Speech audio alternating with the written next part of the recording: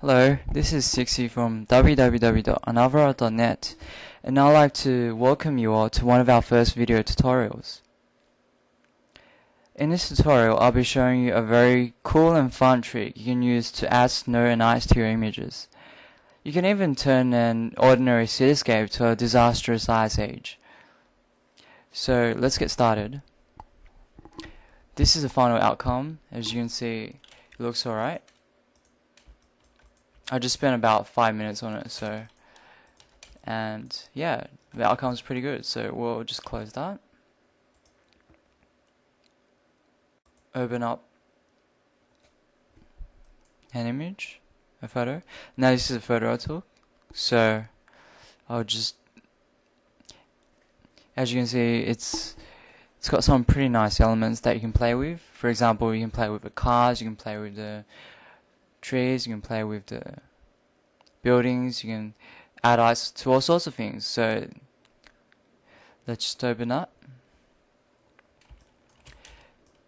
And the first thing we got to do is we have to insert a white layer under this background. So what we need to do is just duplicate the background. So select the background layer and press Ctrl J to duplicate and we'll just click on the background again and this time we'll go shift backspace and we'll fill that in with white. And then we have it a white layer and the photo you want to add ice on on top of it. So we'll need to go onto the blending options of the photo so we'll just double click on that. And this is the basis for the trick. So what you need to do is adjust the blend if gray option here layer style you go blend if gray and and what you need to do is tweak this triangle. So if you tweak this tri whole triangle like move it to the right the left triangle if you move it to the right it's going to create like a not very realistic it's flat white effect on your photo. So that's not what we want to do.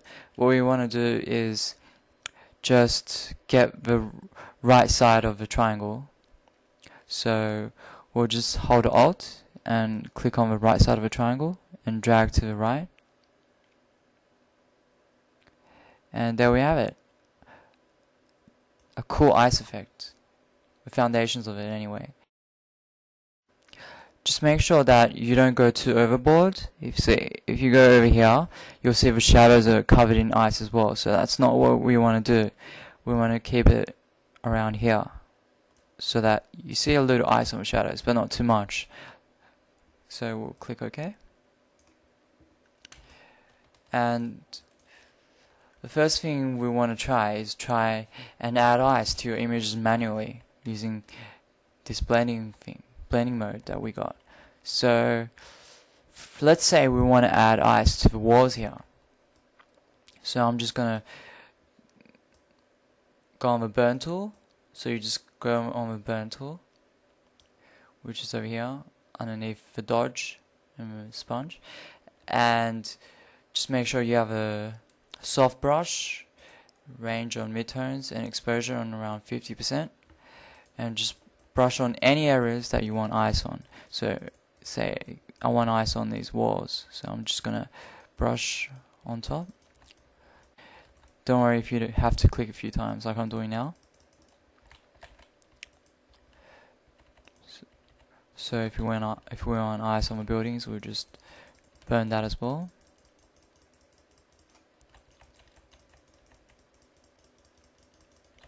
Let's say we want ice on the trees, so we'll just burn that.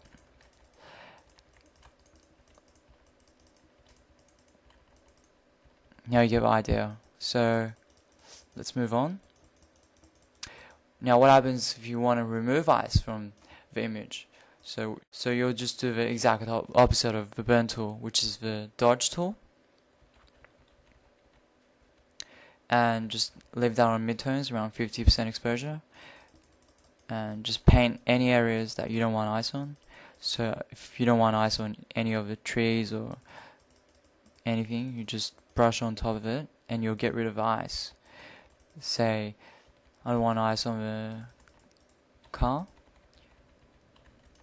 just get rid of it. As simple as that.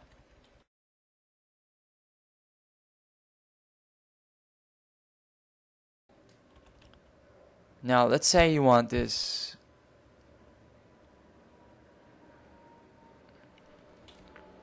Now this effect is looking a bit one of the downsides to this effect is it creates one of these nasty artifacts. Like if you see the edges of the trees it's not it's looking a bit too contrasty too black. So what you need to do is just get a control A and go copy merged. Edit copy merged. And paste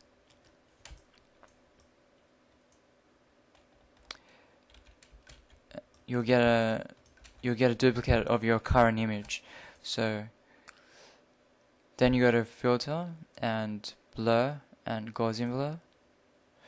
And we'll put it on around 2.5 it depends on the dimensions of your image but I'll put mine on 2.5 which is good. So now we have a blurred out thing. You can imagine what we we're going to do next. So we'll just change that to lighten lighten blending mode. And it will actually smooth out the edges around the eyes. So that counters the problem a little. If you want to counter it more I suggest you put more blurred layers on top and adjust and adjust it just for blur options. So put it on like maybe three or two or stuff like that. Just play around with the blur. If you want to count this problem totally. Now what we need to do is add a levels adjustment layer because the contrasts contrasts are rather dull right now. So we'll add a new levels adjustment layer to, to the mix. And we'll just tighten up these handles so that the histogram is more tight it's more squished up so it looks good.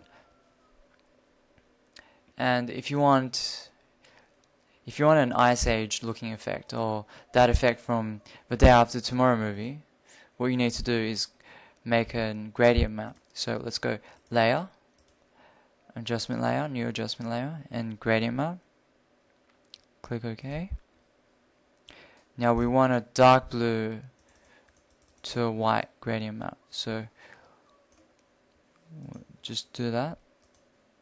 Add a new new color here. Move it to right a bit. And yeah that's the midtones for our for our gradient map. So make sure it's that you like the that you like the effect. Move this midtones to the right a bit so that the ice effect is more dramatic. Click OK.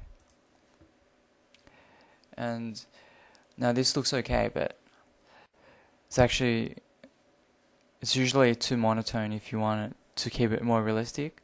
So we'll just turn that down to around 70 66% opacity for the gradient map and we'll need to desaturate the, the greens of the trees and the sky if we wanted to make it more realistic. So we'll just add a new adjustment layer and go on to hue saturation and we'll move the saturation down a little and make sure the hue saturation is below the gradient map so that it doesn't mess with the blues of the gradient map say if you put it on top it'll desaturate the blues as well. So just leave it on below the gradient map. To conclude, we have a nice foundation for an Ice Age artwork in a very short amount of time. So I hope you have enjoyed this tutorial. This is 60 from www.anothera signing out. See you guys. Peace.